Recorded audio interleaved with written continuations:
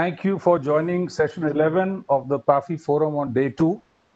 It is a pleasure to have you participate in this session, which will see our political representatives discuss the critical issue of building trust, strengthening federalism, which is essentially how can the various layers and levels of government that we have as a construct in India across central, state, local, and panchayat levels of governance uh, solve the problems and the net outcome that the citizens are looking for, which is essentially a peaceful life, improved quality of life, sustainable economic opportunities, quality health care, and better education for their children, and employment and commerce opportunities for the very young population in India.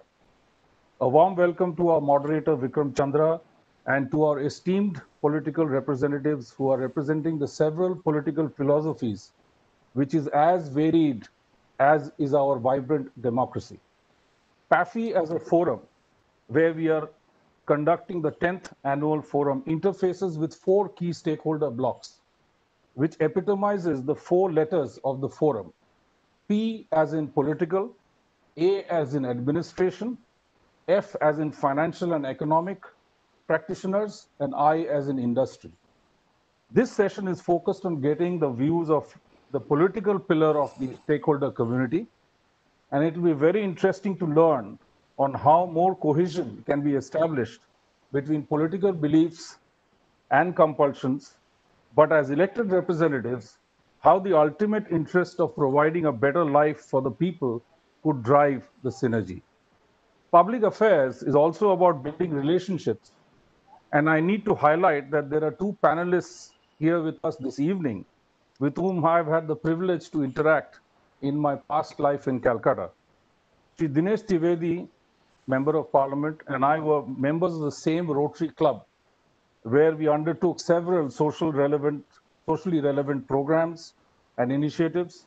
And earlier on in my life, Dr. Swapan Dasgupta was my senior in school. I now hand over the baton to Vikram to conduct this session, and I look forward to the deliberations. Thank you, and over to Vikram. Thank you so much, Mr. Chakrabarty. And I have to say, it's such a pleasure to be here at PAFI uh, and to get a chance to speak to many of our of, of, of, political friends whom we may not have had a chance to do a TV debate with for a, a long time.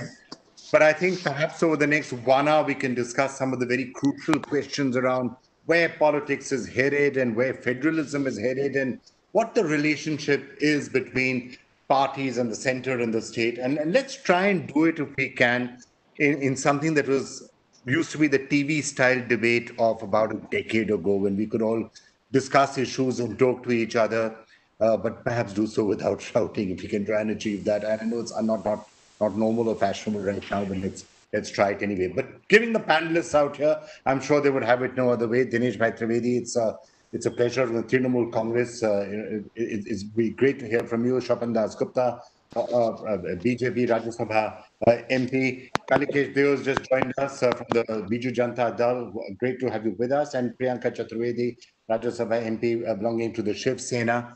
Um, Maharashtra, one of those states where the entire question of center-state relations perhaps is as acute as it ever has been. West Bengal, another state where that has that has often happened, and and Orissa, which uh, which the Biju Janata Dal represents, has perhaps been having a slightly more quiet and cooperative time with the centre of late. But I'm sure you know we, would still like to know from you whether whether that could that could change at any point. Um, why don't I start off with you though, uh? Um, from the point of view when you're looking at the situation around you right now, there's a constitution which specifically says this is the way federalism should work. This is the way center state relations should work. This is the way institutions should work. And that's layered then with 70 years of experience and precedent and traditions and how things are done.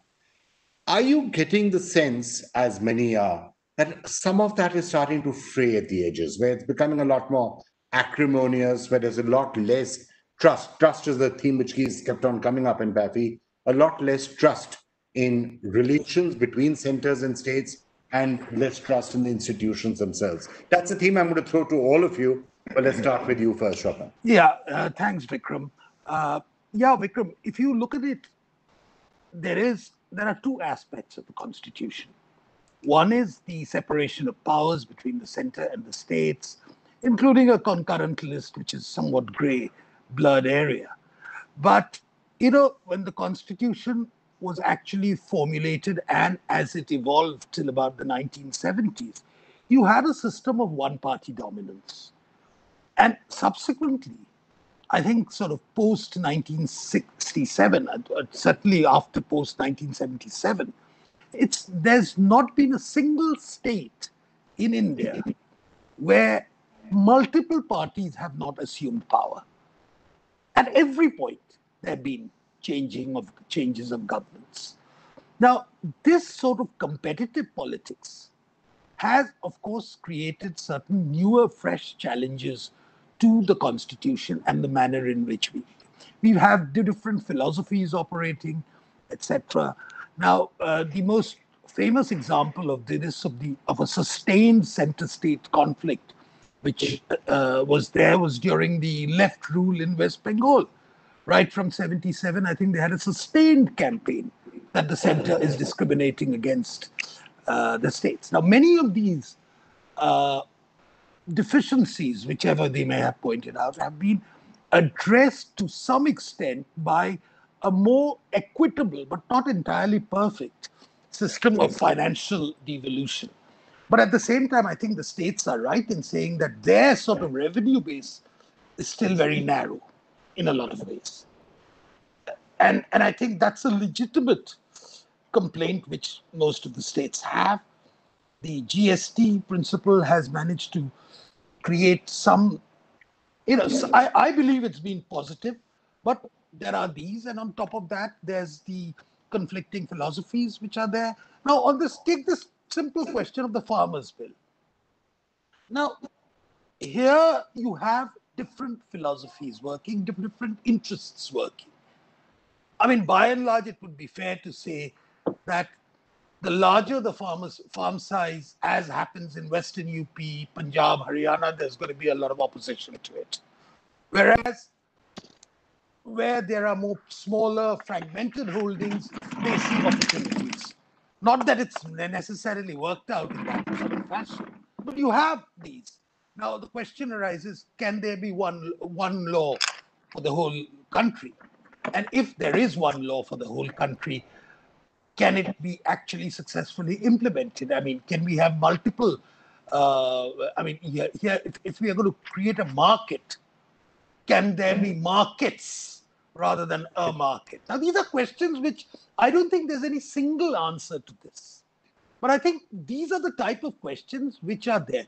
So I would say that while on one hand, the friction between the sentence states is defined by some sort of a lack of trust, most of the time, it's also various different approaches which are there, and also the the compulsions of having a measure of uniformity.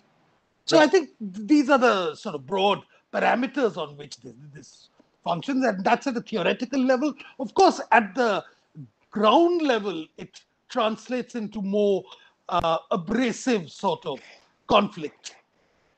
Right. So the fact that there will be some conflict between center and state and interpretation, and philosophically, should the states have more power or the center have more power, that's a debate that is going to continue. It's been there from the time the Constitution was framed, and it'll presumably continue into the future. It's also not unusual. You'll have exactly the same debate taking place uh, elsewhere. Uh, but if you can look at the recent history, and Dinesh Mehta, let me just get you in on this. Swapan spoke briefly about, about GST and that perhaps would have been one of the moments where trust uh, it, there's always been some some mistrust but trust was actually quite high what the centers what the states agreed to do give up a certain amount of autonomy in many in a lot of areas and hand that over to the center. You could have and that was not that far back. You could have said that as one of the high points of of trust and uh, and federalism working in a positive manner. Have things have things deteriorated a bit uh, uh, since since then, and that was just three or four years ago. There seems to be a lot more tension now uh, Swapan spoke about the farmers, uh, the farm bills, the way in which the farm bills are pushed through now means that some states are saying, okay, we're going to have our own laws to overturn that.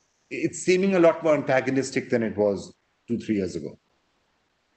So, uh, Vikram, first of all, thank you to PAFI for having me here and wish you all uh, under these circumstances. I know it can't be the same, the festive seasons of Durga Puja and Navratra and all. So, wish them all the very best.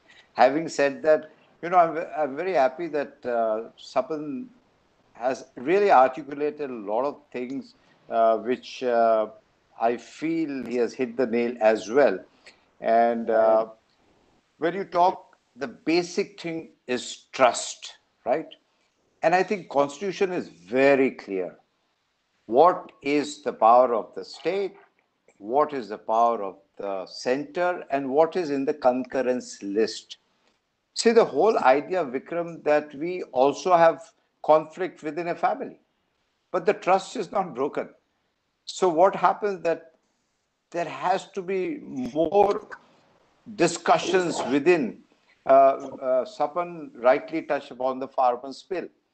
It would have been so nice that if you had called the opposition, had met them and sent the bill to perhaps uh, some kind of uh, joint committee. So, what is perhaps lacking is more interaction and discussion because at the end of the day, uh, you know, the difference between statesmen and politicians. When we are politicians, we are just looking at power. A statesman, you know, and I'm not trying to be philosophical about it, we'll come and go. But I think the structure needs to be strengthened. and that is where the very fact that we are discussing whether the structure is getting little, uh, you know, nudged, uh, it means there is something. But I'm sure, given the uh, the, the Indians' uh, mind, uh, we can still rectify, we can still come together. And here comes, you know, I've I had, I'm not necessarily talking about this particular establishment. I've always felt that when it comes to the chairman of Rajya Sabha or the speaker of the Lok Sabha, and I repeat, I, am not talking about this particular, I always felt that they should be beyond party. Uh, unfortunately, what happens that if I'm a speaker from a particular party, I also need to go and get a ticket for the next election. So you somehow, I can still understand that a little bit of till, but total, and if if if the political party runs through the chair, then then there is a lot of conflict, and I will never approve of the acrimony which happens from time to time. We we are a democracy which is vibrant. And and you will agree with me that when the world is uh, is almost collapsing uh, they are, they are looking at india. And india is very vibrant. And i feel that there is still a lot of opportunity to talk discuss understand each other and sort it out elections will come and go during election we can have all kind of acrimony uh, but that's that's the dynamism of politics but yes, uh, when, when Swapan talks about that trust, I totally agree that we need to build this trust. And, and you know, Swapan and I can sit down and say, hey, look here. But but the thing is now everything has gone down to, you know, like in, in, in Bengal, we have football. It is one club versus another club. They will never agree, yeah. even agree to disagree. So I think this acrimony is not good for anybody at the end of the day, right. I think we have a structure and we have to follow that. Thank you, Victor. I, I, think one of the points I'm going to come back to all of you on is the, the, the structure, what can be done to strengthen that, and the obvious pillars that go along with the structure, which are institutions, is something else that I think you, know, you have to take a look at. How do you keep it above all all uh, party politics? Because Priyanka, if I can turn to you next, I mean, one one state where that that tension is actually so so glaring and so obvious and it's so much in your face and your ears you know, on, on, on the most constant basis is of obviously Maharashtra right now. I mean, to have a situation where clearly the state of Maharashtra, the Maharashtra government doesn't seem to trust uh, an organization like the CBI to come and investigate there because you think they could be biased. Uh, police forces are sniping at each other. Um, where's all of this coming from? Look, I know there's going to be a blame game. I, I know the Shiv Sena will say the BJP started it, and look at the center and what central institutions are saying, and the center and the central institutions will say, look at what the Maharashtra government is doing. But is this a slide that you think is going to continue for a while? I see. Firstly, I wouldn't want to get into a blame game. We need to understand how this all began, right from uh, the day the government was formed. Uh, the central government needs to respect that uh, in a democracy, sometimes uh, Bharatiya Janata Party can go form a government in Goa, Bharatiya Janata Party can go form a government in Mizoram, Manipur, the way they through alliances, etc. In Maharashtra, they were unable to do that, and the center needs to respect the uh, uh, democratic framework and the constitutional norms that were followed to form this government. However, we have seen there has always been a conflict as far as the uh, support from the center is needed. Uh, as far as we are concerned, ever since COVID struck, uh, the government has been very clear, uh, coming from the chief minister himself, that we're not going to get into any blame game, not going into politics, because this pandemic is something that is impacting the globe, not just uh, India, not just Maharashtra. But repeatedly, we have seen how, uh, through various central agencies, interference in investigation, trying to malign institutions of the state, trying to raise questions and uh, doubts on the credibility of, uh, you know, uh, very strong institutions under direct attack from the center. And we see the uh, rush and the hurry of central agencies to come and investigate in, in the state of Maharashtra, which not just disrupts and demotivates uh, governance, but it also creates a lot of friction between the center and the state. This is something as a big brother. I would assume center would take that responsibility, understand what the shortcomings are, and understanding also that it becomes their dharma. Like I remember uh, Atal Bihari Vajpayee talking about Raj Dharm, Ram and Ram Rajya Dharma, etc. But this is how it works. You have to understand that uh, you have to respect the structures which have been constitutionally in place. You've used those structures. You've been part of the uh, democracy. You've been part of the loopholes that exist that do not exist. So either we strengthen it by giving due respect, or we continue to be in a position of conflict, which we saw much recently with the governor writing a very nasty letter to the chief minister. Uh, it was more a political letter, less a letter coming from the chair of the governor and the responsibility that comes along with it. And then we saw how uh, the second case of CBI wanting to come and investigate in an already ongoing investigation in Maharashtra. So these are a few things that I would say the central government also needs to respect, also needs to have that trust. Trust cannot be a one-way street where the state is expected to kowtow to everything the center uh, thrusts down our throat. Well, when we have an opinion, we have a way of working you will continue to interfere in it or uh, raise, uh, uh, you know, uh, doubts on our credibility. Right, Priyanka, let me get Kalikesh and then you know, throw the question of institutions open to everybody. Kalikesh, I mean, obviously, Odisha uh, is, is, a state where the Biju Janata Dal seems to have for a long period. Obviously, you've been in some way close to the NDA to the extent that you somehow seem to have found a way that you're working closely with the center, not getting into any antagonistic positions and, and finding a fairly peaceful way of proceeding with that. Um, would that be a fair way of characterizing it for starters?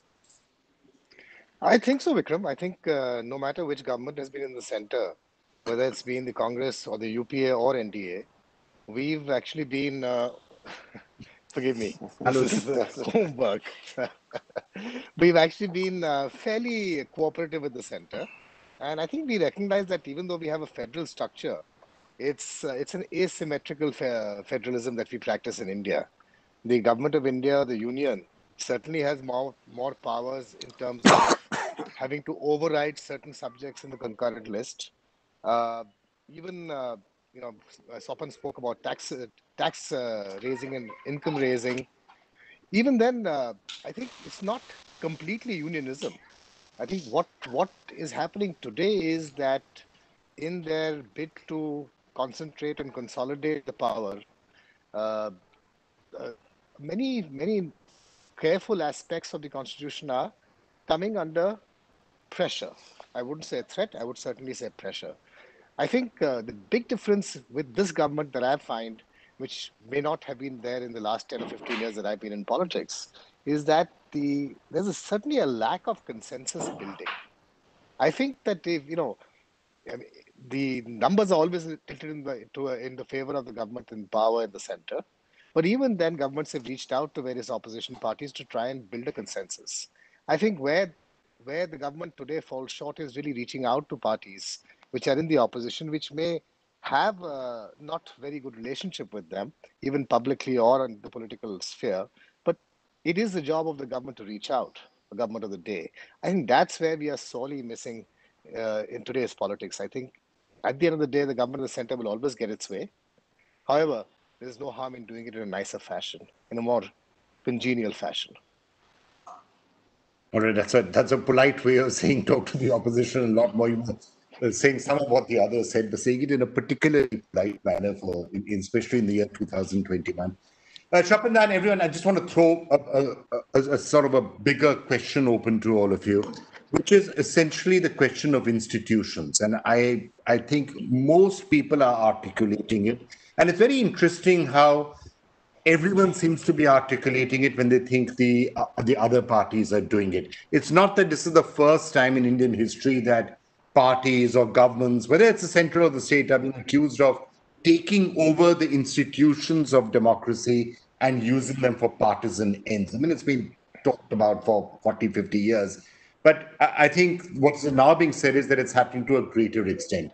And uh, the opposition parties will say that the BJP is doing it at the center and in the places where the BJP rules, the BJP will say, why are you pointing a finger at us? Look what you're doing in the states that you own and you run, well, not own, you, the states that you're running, uh, you know, whether it's the Shiv Sena or the Trinamool Congress or the Congress in Punjab or wherever it is.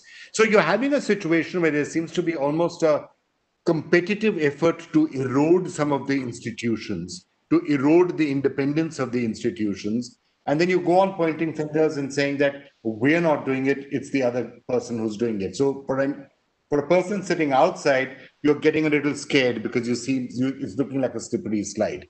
Swapan, is that a fair way to look at it? Yes and no in both senses. You know, firstly, let's look look at the consensus building. I think, you know, one of the most remarkable aspects of consensus building which has actually taken place under the Modi government has been the fact that almost every single GST measure has gone without a vote.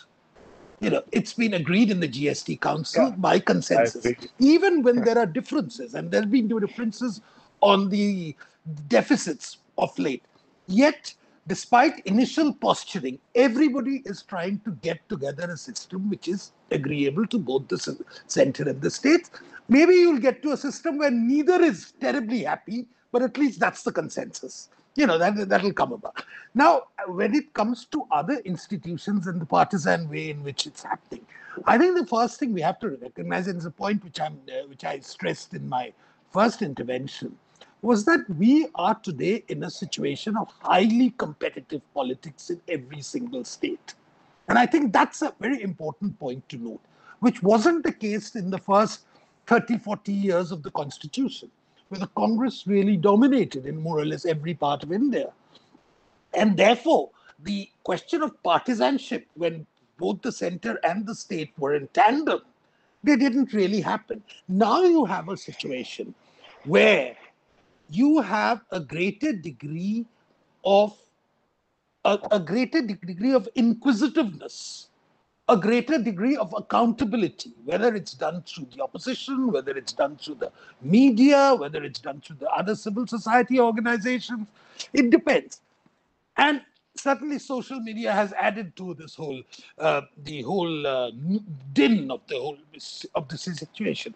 So you have a greater focus. So even small transgressions are sometimes magnified and amplified and made into something bigger than they are. Now, for I mean, I personally am still a little puzzled and uh, mystified as to how a very unfortunate death of a film star in Mumbai suicide has become such a huge issue. I mean, little, I mean, it mystifies me.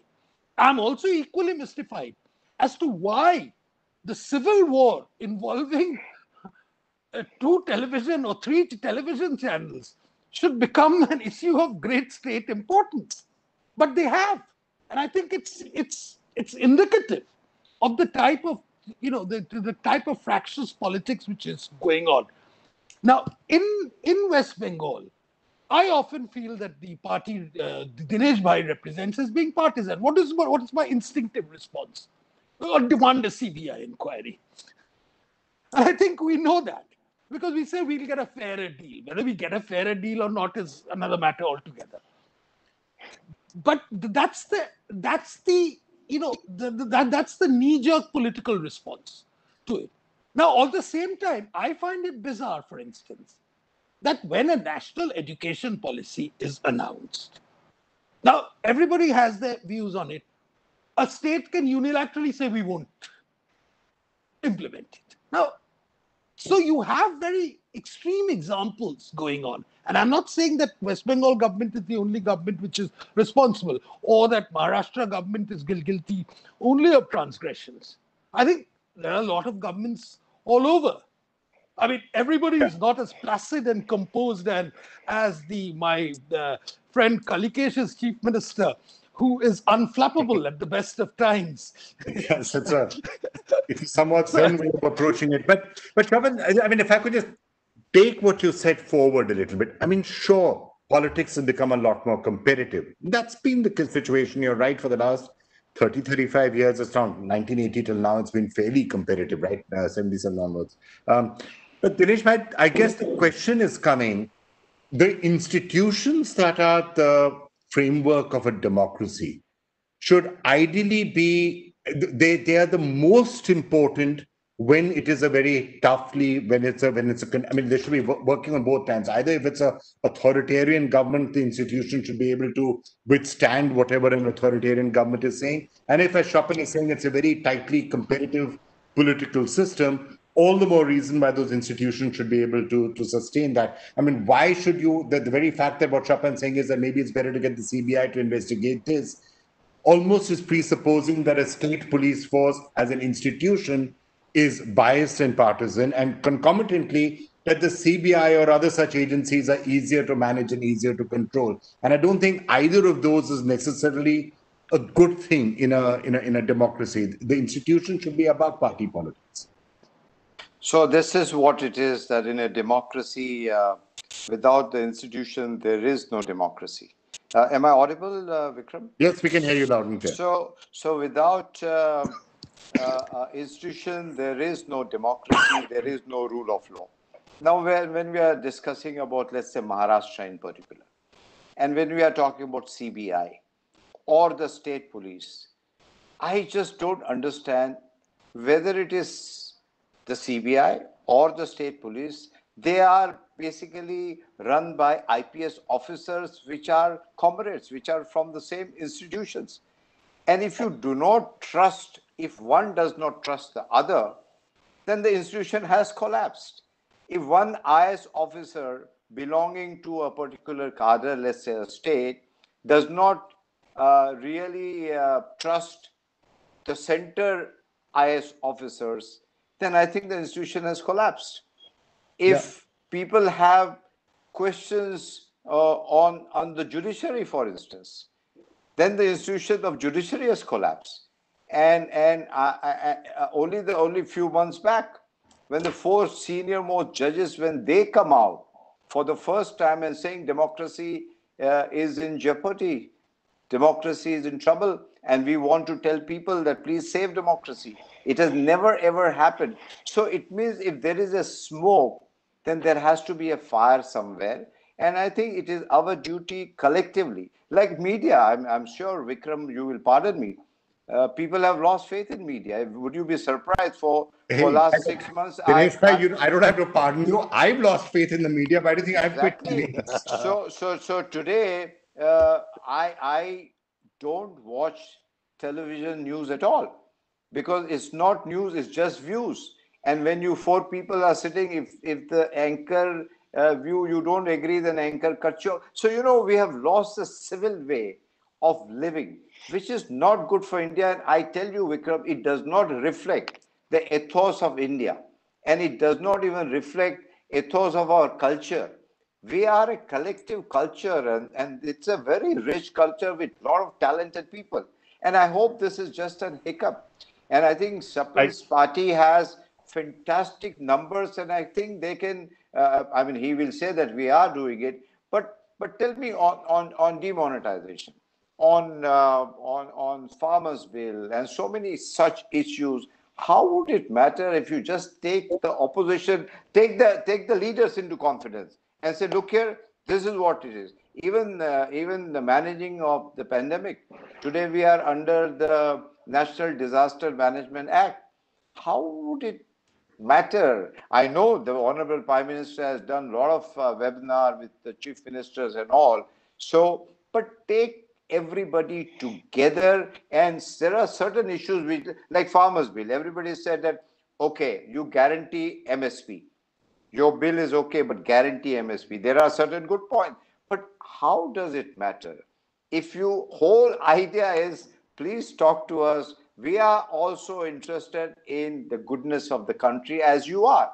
So if we are doing the same work institutions has to be stronger today i must tell you uh, we have somewhere down the line uh, and, and, i'm not trying to apportion blame uh, lost in lost the faith in the institution you can blame the congress party for sure I, I mean okay. they have started they have started a lot of stuff but that doesn't mean that we I, need to follow that I, I, think it's good that in a, a, number, all of you are speaking, or these are these are things that actually, you know, how do you keep India strong is something that should cut about uh, party political lines. So, if institutions are weak, it should affect all of us, or bother anybody who's who's a patriotic Indian and who loves the country. Because at the end of the day, it is it is in everyone's interest that this be strong, even if someone's using a, using it in one way or the other right now. Priyanka, I just wanted to come to you. What what Dinesh Bhai was saying about uh, and I'm going to say this to you because you're the veteran by now, probably of a, lot more, since I haven't been on TV for a while, a lot more TV debates recently than I have. Um, the fact that the media is also as polarized as it seems to be, as partisan as it seems to be, social media is as polarized and as clear cut in its views as it seems to be. Everyone is therefore getting locked into little ideological echo chambers.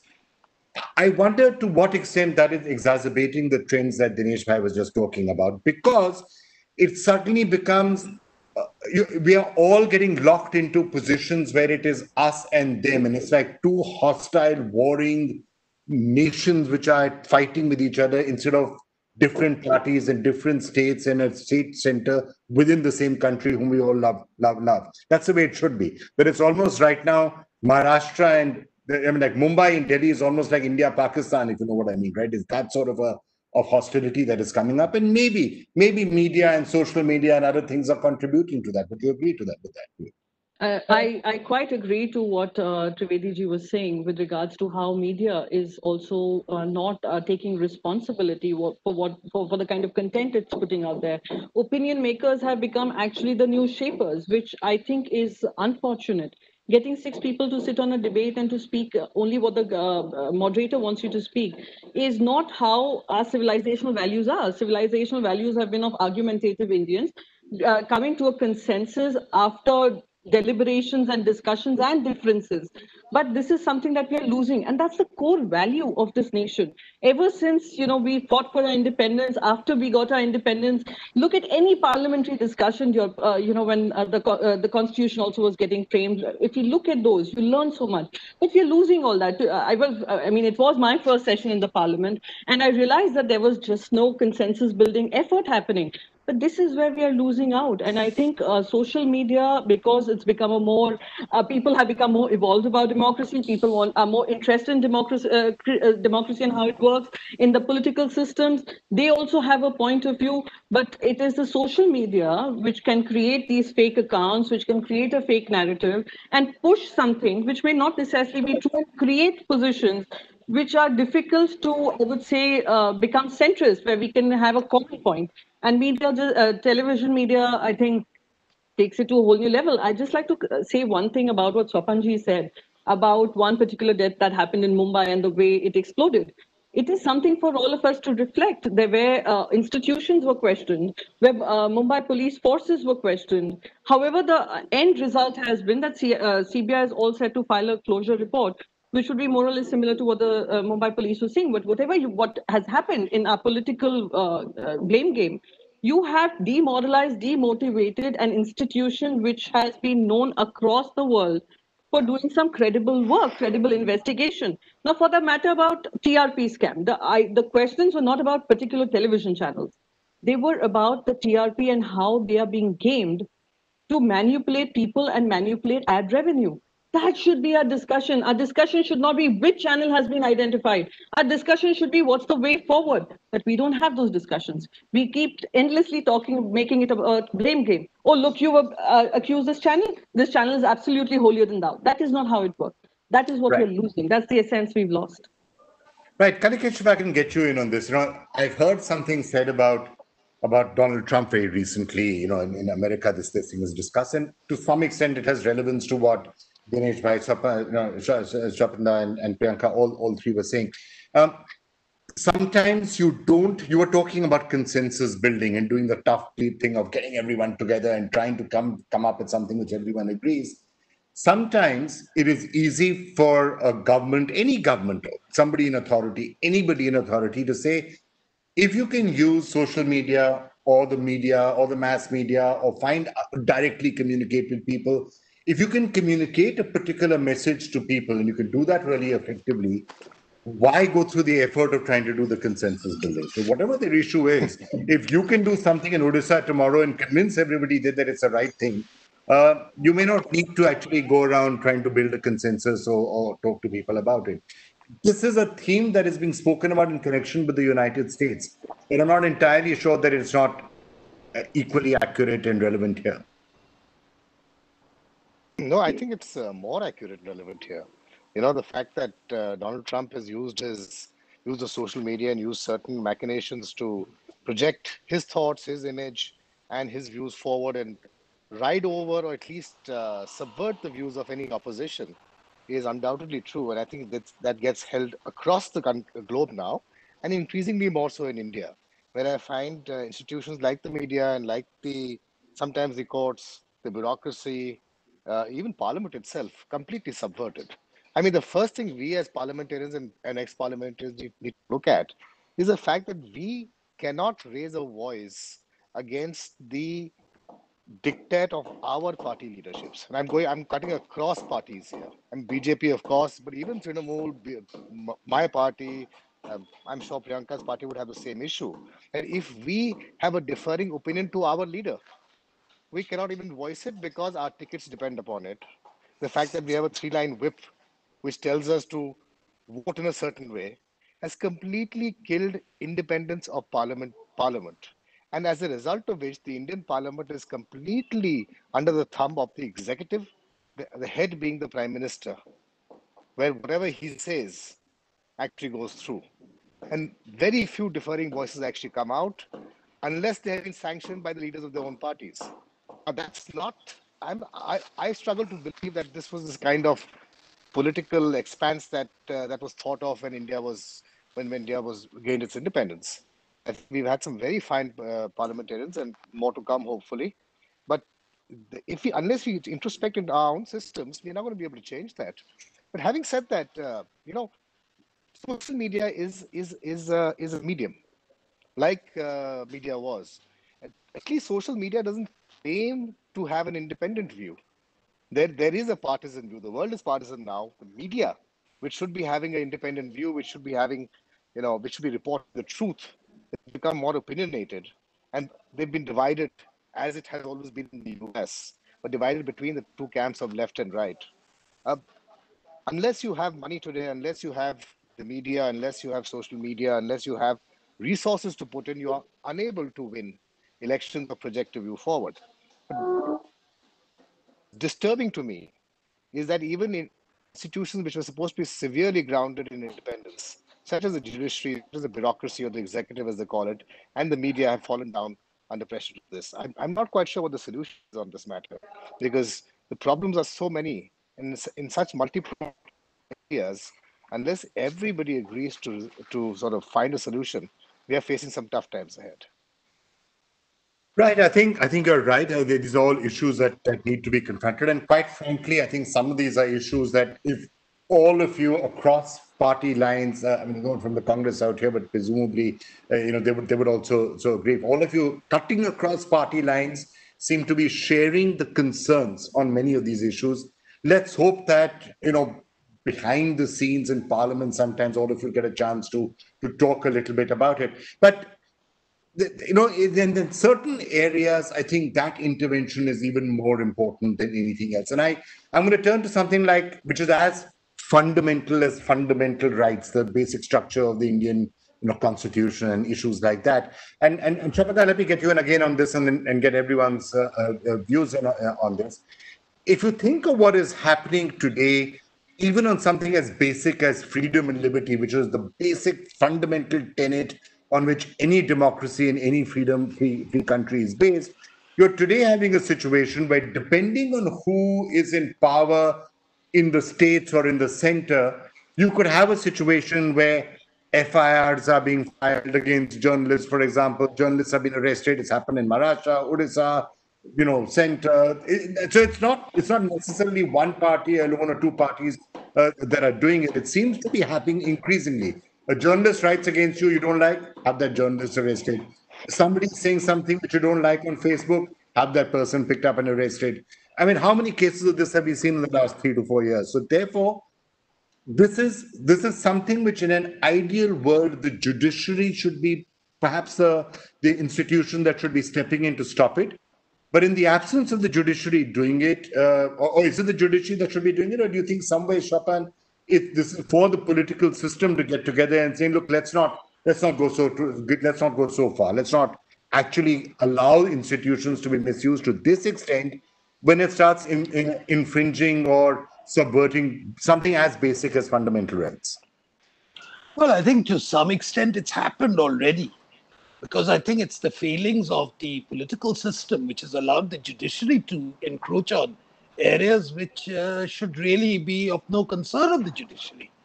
I mean, today the judiciary is dictating large parts of public policy, which uh, it is unfortunate, but I can also recognize that there is a great deal of public support for it in certain areas because they're seen in a lot of ways as being impartial because they have a certain measure of trust which the political system has lost. But that's already beginning to happen, but that's not a long term way out of it. And I think judges can't be allowed to become the rulers because at the end of the day, they are not accountable to anyone. And that's not really law. They are making public pronouncements. But Swapan, do you think, and they just hang on, hang on, just, let me just, just finish. Yeah. Now the real question with this fractiousness and consensus, etc. I recognize what Kalikesh said that you know the, the political culture within all the political parties needs a serious, serious review. You know, we we are failing ourselves for being completely regimented in our outlook, which we are not everybody has. There's more commonalities between Kalikesh and me, and probably with Priyanka and me, than we care to admit. But circumstances are such that, you know, it's not possible to admit that. And secondly, there's a larger question which I have to pose, and this is comes down to the question of consensus. How do you promote change in this country? And this is, to my mind, very important because there is something in the nature of the consensus building exercises which is inimical to the process of change. You go around talking, if you make it a complete talking shop, you'll never get anything done. It'll be like the India China border talks. It'll be never ending and, and no conclusion. Now, change sometimes needs a measure of decisiveness. And what's ironical is that the public, the, the voting population, prefer leaders who just sort of go on and say, okay, I'm going to do it, I've done it. So you have these various things where you have public opinion trusting the judiciary, judiciary encroaching on the thing, the consensus being a noble virtue, but at the same time, decisiveness being appreciated by the people. So, how do you reconcile all these various cross currents? These are real issues which we've got to think about. I don't know how we'll deal with it, but at least we've got to think about it. It's not as simple as that, that it's it's a uniform failure in one way or the other. All right, that's an interesting point of view. The, the judicial activism, is it as much as it once used to be, is a moot point. Why don't I change the order a little bit? Kalikesh, get you in on that point. Um, you heard what what what Swapanda was saying. Uh, but would you agree with? I mean, like there, there are some people who would say that yes, there was a time when judicial activism was the big thing to think about. Today, if anything, the judiciary, some could argue, is not stepping in often enough. Not stepping in often enough to say, "Excuse me, why did you pick that person up, or why did you not that pick that person up, and how can you charge this person under ABC clauses when it's doesn't it's not made out? Why was X person know, locked up for six months without anything?" There are some who can argue that the judiciary should be playing a more active role. No, I, I completely agree with you, Vikram. I think uh, in this day and age, I find, find the judiciary actually stepping back from, let's say, even seven or eight years ago, where uh, we discussed the extent of judicial activism, uh, given uh, given the fact that we in Parliament had actually given over a lot of our, um, you know, space to them by, by by not legislating on issues that Parliament had a legal and constitutional right to do so. Now, having said that, uh, you know, I also I also take Swapan's point of view that yes, uh, decision making is required, but obviously, uh, but reaching out and trying to build a consensus is what I was seeking. Not really agreement across the board. I mean, that's never going to be possible. It's all in one party. The idea was to sort of try to reach out and build a consensus, explain your perspective rather than drive it through with brute force. I think that's where I was coming from. You know, honestly, the last uh, ray of hope for the Indian population, which is uh, which is not uh, you know which which falls itself uh, on the wrong side of the current government, is the judiciary. And if, if they do not function in a more independent, impartisan manner, and they are unable to take up the issues which matter to the opposition or which have a reflection on the constitution itself, I think then they will be se- seriously and severely failing the country. I think uh, we all know they are pressed for time and pressed for resources. There are issues which need to be taken up by the judiciary, and they are, they are absolutely right in dismissing those issues which are just done for the sake of politics. I mean, I, without naming some of the parties, I think a lot of cases have been filed against the current incumbent central government, which are really very political and just filed for the sake of politics itself. I don't subscribe to that view. But certainly there are many issues where the issue of constitution, where the issue of federalism, of the rights of the state versus the center, you know, someone talked about GST. I'm talking about the fact that the finance minister, uh, Arun Jaitley, in the floor of the House had assured all the states that the, there's, if there's any shortage in GST, that will be paid out of yes. the central government's uh, uh, this thing. And Swapan was there too. And even for the government to suggest that uh, you know they will not be able to make that payment or that the state should bear some of that burden. I think that's that's that's immoral and that's not keeping to the promises. So it's it is in areas like this where I want to see the judiciary coming in place and where I want to see the institutions being impartial and and, and you know and being fair. Right, Dinesh Bhai, the, the role of the judiciary, A, as Kalike shared in federalism and you know making sure that federal issues are kept kept kept up, but also what I was referring to when it comes to the rights of the individual. Uh, would you like to see the judiciary playing a more active role or a less active role? See, there are two institutions. One is the judiciary, which I talked about, and second is the presiding officers, and not necessarily I'm talking about parliament, all the states included. And, and, and it was rightly mentioned that even the presiding officer wants a ticket to fight the next election. So I think there has to be absolutely, you know, uh, and that's where that's where uh, the statesmanship has really almost vanished. And as far as the judiciary is concerned, I think they should reflect upon it that after retirement we are not going to accept any of the positions offered by any government, be it center, be it state, so I think there has to be certain kind of introspection, and we in Parliament can do it. Like Vikram, we are we are so nicely and positively talking to each other, which itself is a big achievement. And I must compliment you, and I must compliment ourselves that this can be done. Having said that, I think I was just about to start shouting at you any minute now. Any minute. so, Vikram, uh, lastly, I must tell you that we are we are living in a world of digital dictatorship. When I say digital dictatorship, whether it's America or wherever, if, if, if, if the President Trump says that some other country is influencing their election electronically, it means today the digital platform has captured your mind. It does not let you think. You think you are thinking, but it doesn't let you think. It, it orders you to do this. So the influence of digital is also great in this country. So all the more reason that people like Kalikesh, Swapan, myself, Priyanka, uh, irrespective of party, we must sit together. And actually, it's important to have inner democracy, which Kalikesh mentioned. And I think we should not run away from this. Uh, we have, if 50% of uh, the MPs today have serious criminal records. So every party looks at criminality. If it's winnable, they don't care. So if a criminal is there in my party, is good. The moment he goes to another party, is bad. Vice versa. So I think we must also, if we have to get our son or a daughter married, and if somebody has criminal record, we would not say, oh, that was just light. So we have got to take these things very seriously. And Priyanka ji rightly mentioned about the Constituent Assembly debate. Actually, they are Bible. For three years, they went on and there was no ruckus because overall it was India, country which mattered, which was beyond the party. And I think there's still there is light at the end of the tunnel. We all can sit down and talk irrespective of party we belong to. We can at least talk outside parliament, which we very often do.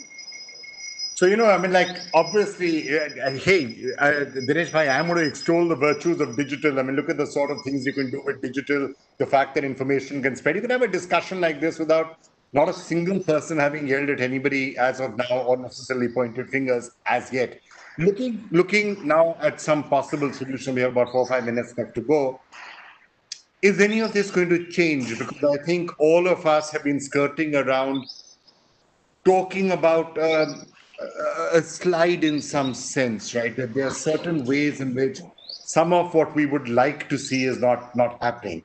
Can that be turned around? Can that be reversed? And how will that happen? Priyanka, will it be through states and the center talking to each other, political parties talking to each other? I mean, hey, the Shiv Sena and the BJP used to be allies for not that long back, so conversation shouldn't be impossible. Or, as I was saying, it's going to require the judiciary perhaps to step in and a much larger level, not in, in perhaps being more activist and saying, you can't do this, you can't start eroding individual rights, for example. No, I, I personally believe that judiciary does not need to step into every single uh, logjam that India faces because, like I said, democracy is about consensus. But now we are seeing a pattern where there is a, a critical space of distrust. Most the the civil society distrust the government structure, the executive body. They also uh, do not trust the transparency that they seek. So, for example, if there is a state government state government does not trust the governors that has been trusted on them. You have a governor who's interfering in the political system. So when a person from the civil society wants to look for some kind of decision making, they naturally run towards the judiciary. That is something that needs to stop. And that can only come when we have more trust uh, building, where we see the state governments working along with the center. The only reason why state governments are uh, in a position of uh, uh, distrust at this point in time is because when the central government starts to talk, they try, they're not only talking from a point of arrogance, they're also talking from a point, okay, you guys know nothing. We will need to put our agencies there. We will need to uh, we will need to supervise. So they start from a position of uh, uh, belief that, you know, you can't do, are incompetent, that's why we need to step in. That needs to end, especially the non-BJP governments, where they feel we are the most competent, our political party can run governments, y'all cannot, y'all are full of corruption, y'all are full of, uh, you know, inconsistencies, incapabilities, etc. So that is something that need that should be coming from the central government, where we see more uh, areas, common areas of uh, trust building, which uh, our government would be happy to do. All right. So we, as we end this, we seem to have come around to uh, a view which I think everyone seems to be expressing. There is obviously some. The session was supposed to be about building trust. Obviously, the need to build that trust is more important than ever before because clearly, whether it's the center or the state, one political party and, the, and another political party, the media, the judiciary, institutions, central and state, they obviously reflected in everything that all four of our panelists were saying is there seems to have been some erosion of trust. Now, how is that going to be rebuilt and will it be rebuilt? And how soon will it rebuild is, of course, a well, very big question. I don't have the answers to that. Any, um, is it going to be better or worse in the next two years? Just one line from each of you. Kalikesh? Um, I think it's going to get worse before it gets better. It's going to get worse. Swapanda? I think people like this system. That's why, you know, it's that's the paradox. They like this system. They like the fractiousness. Voting turnout are going getting better and better and better. So there's no erosion of democracy. This is the type of democracy. I think we are getting obsolete. Okay, this is the democracy that people will people like because if I ta- understood you correctly, Swapanda, there's decisiveness, there's fractiousness, there's certainly a lot of hangama and excitement on TV and social media. So this is what people like, and therefore TRP. it's not going to get better. This thing gets the TRP. It's what gets the TRPs as well. So, okay, this, this They vote with their feet. I'm going to interpret that to mean it is going to continue. Dinesh Bhai, get- it's going to get better or worse? No, I'm Question of very what is op- better. Put the whole question of what is better and what is worse also into question. So fine. I'm not, I'm, I don't trust my own good senses anymore. All right, Dinesh Bhai. No, first of all, Vikram, I must tell you, I'm very optimistic about things. And, and just to correct about the digital, I love digital thing.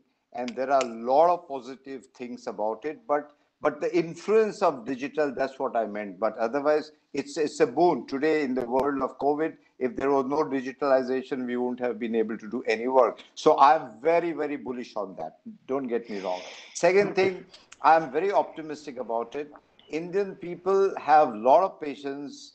Uh, I, I think, and I have no hesitation in saying that we in opposition also have to come up with a proper alternate narrative. We need not follow the narrative given by the by, by, by the center party.